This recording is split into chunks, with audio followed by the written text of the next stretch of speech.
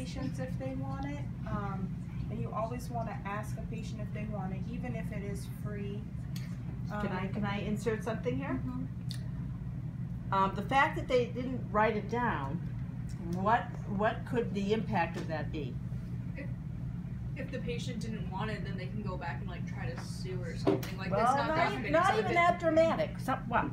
What they somehow get allergic reactions and they- they're like, Bingo. "Well, nothing documented. Bingo, that's it, that's it. So that is one of the reasons that we write down sparkle varnish, that, that's the type. So I don't know if that was on there, but. Yeah. No, it was. Oh, I'm sorry. No, that's Ah, okay. that's okay. Um, so some of the things that were the, the prin- uh, that applies to the principles of the ADHA code are, um, individual autonomy and respect for human beings, cause by him just applying it, he's not allowing them to have a choice whether they would like it or not. Very good. Um, societal trust, because, um, you know, the patients ensure their trust in us that we are being honest and doing what's best for them. So by just doing something without asking is kind of violating their trust.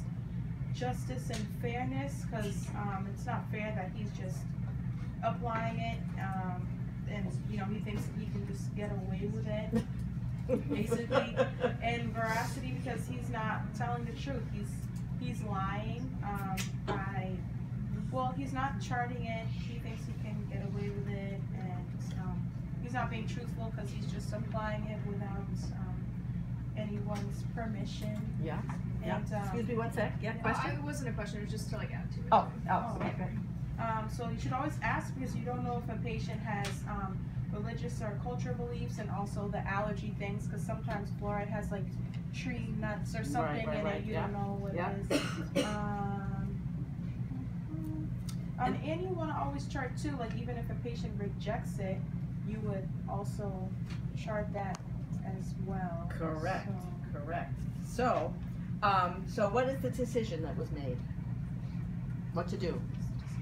Um, What to do? I, I would ask patient if he would like to write, um, for a low fee, explain the benefits.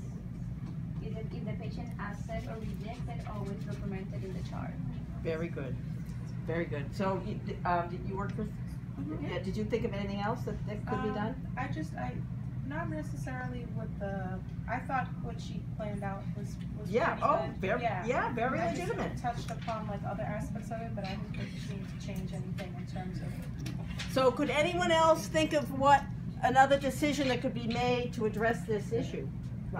Um, they could consider. I put just like a different look at it that they could consider talking to the dentist or like fluoride companies to do like pro bono or like to try to have someone sponsor it. Yeah, yeah, that's exactly right. You could either, the dentist could decide, I mean, to be honest, fluoride varnish is not expensive to buy, to purchase a box of it. It is not. That, I, I bought boxes of it. It's not expensive. So that's, that's number one. Beside the point. If you are working in a low-income area and you really want to advance oral health, you know fluoride varnishes are the scientifically based um, remedy for incipient caries. So, you could make an office policy that for people who do not have, say, say they don't have Mass Health, Mass Health would pay for it. If they don't have Mass Health, but they're low income, you're gonna put, supply this pro bono, you're not gonna charge for it. However, you ha still have to go through the steps of getting informed consent, especially when it's children from the parents. And you still have to go through the, uh, documentation process, you know, documenting what you did, even if you don't charge for it. Um, so that would be another way that you could, um, solve that problem. How about question number four? Anybody wanna say about question number four?